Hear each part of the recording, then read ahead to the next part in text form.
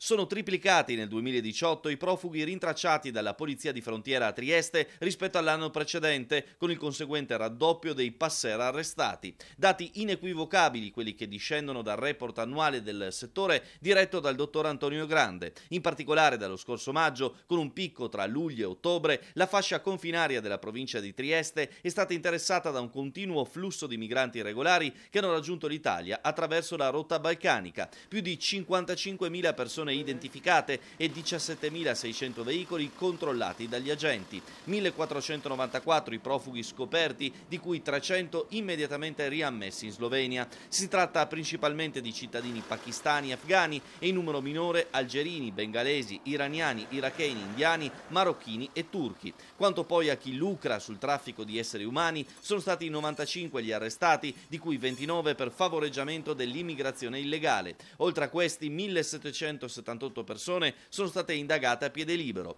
Questo è il frutto del rafforzamento dei controlli in prossimità degli ex valichi, un'attività che ha visto anche una stretta collaborazione con l'esercito. La sinergia tra Polizia di Frontiera e militari del Reggimento Piemonte Cavalleria di Trieste si è tradotta nell'impiego di ben 1460 pattuglie congiunte nel corso dell'anno.